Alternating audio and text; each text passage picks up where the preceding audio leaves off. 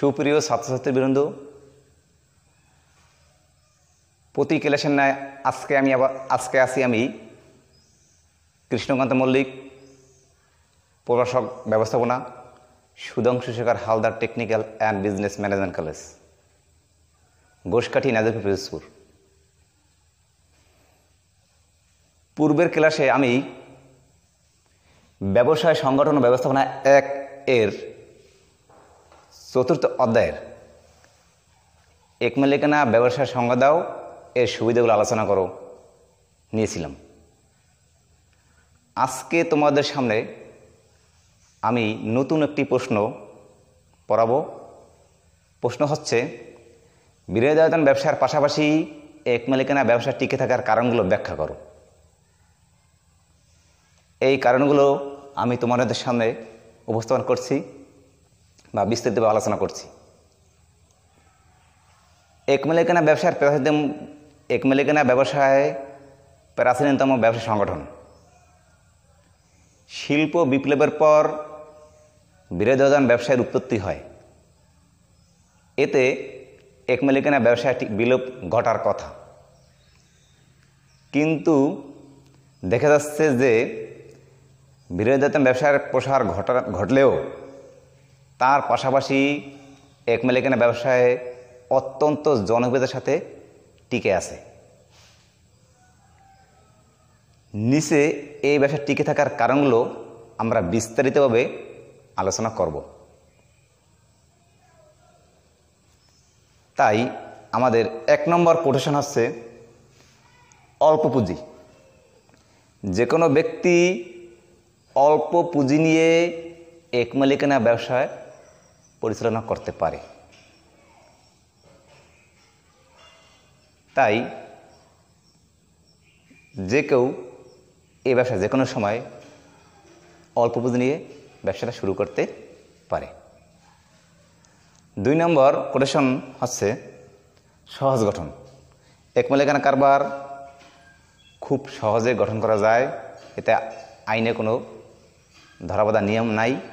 তাই যে কোনো ব্যক্তি এক মালিকানা ব্যবসা সহজে গঠন করতে পারে। তিন নম্বর কোটেশন হচ্ছে, স্বাধীন মনোভাব এক মালিকানা ব্যবসায় মালিক অনেক স্বাধীনভাবে ব্যবসা পরিচালনা করতে পারে। এখানে কোনো বাধা নিষেধ নেই। তাই মালিকের ব্যক্তিগত অনেক স্বাধীনতা এই ব্যবসায় দেখা যায়। তিন নম্বর কোটেশন হচ্ছে, চার নম্বর কোটেশন হচ্ছে গোপনীয়তা রক্ষা। এক মালিকানা ব্যবসায় মালিক একজন থাকায় সে অনেক বিষয় বা সব সকল বিষয়ে গোপনীয়তা রক্ষা করতে পারে। অন্য কোনো ব্যবসায় এরকম গোপনীয়তা রক্ষা করা যায় না। পাঁচ নম্বর কোটেশন হচ্ছে, দ্রুত সিদ্ধান্ত গ্রহণ। এক মালিকানা ব্যবসায় মালিক একজন থাকা বিদায়।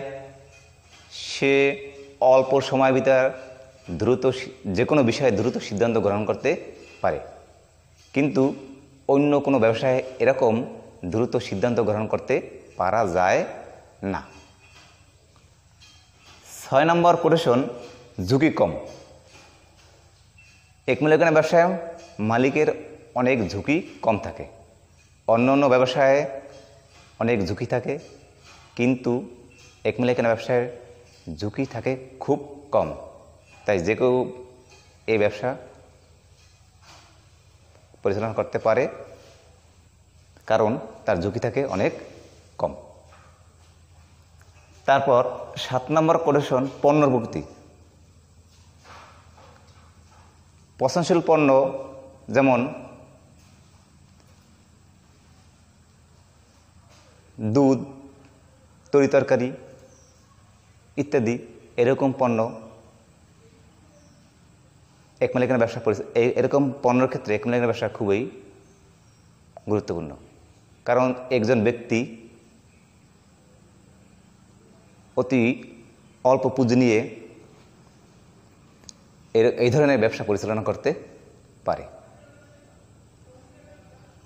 তারপর আট নম্বর কোটেশন, অসীম দায়ের পরোক্ষ বল একজন মালিক থাকায় তার দায়িত্ব থাকে অসীম। তাকে একাকেই সব ব্যবসা সব কিছু দেখাশোনা করতে হয়, বিদায়। তার দায়িত্ব অসীম। কিন্তু এই ব্যবসায় যত মুনাফা হয় বা লাভ হয়, সে লাভ মালিক একেই বহন করে।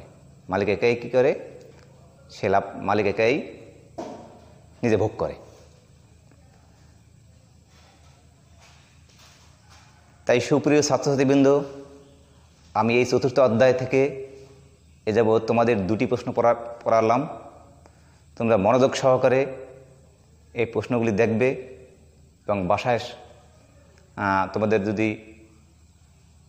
বই থাকে, বই থেকে আরও আরও ভালো করে পড়ে নেবে।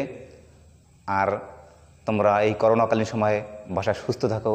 নিরাপদে থাকো। এই আশাবাদ ব্যক্ত রেখে আমি আজ বিদায় নিছি। ধন্যবাদ।